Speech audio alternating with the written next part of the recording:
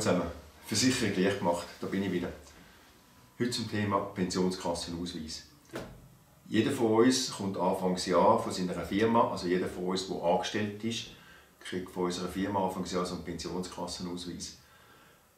Als ich früher auf der Bank gearbeitet habe, habe ich den Ausweis auch bekommen. Das war noch die jungen Jahre, die 30 Jahre. Und dann habe ich immer Freude gehabt, wow, geiler Betrag, so viel kriege ich dann, super, auf die Seite gelegt, abgelegt, fertig ist es. Aber wissen die, was ihr genau bekommt im Alter? Oder was eure Frau bekommt, wenn euch etwas passiert? Oder könnt Kind in die Schule gehen, wenn euch etwas passiert? Äh, ja, wie viel brauche ich überhaupt? Und äh, da wäre ich einfach bereit, wenn ihr den Pensionskassenausweis mir schickt.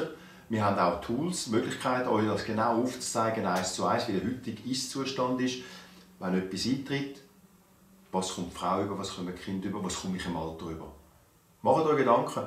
Wir sind immer noch daheim, wir haben immer noch Homeoffice, wir können immer noch nicht groß fort. Diese Zeit, die ist wichtig. Schaut für euch an, was ihr überkommt. Läutet mir an, schickt mir ein Mail.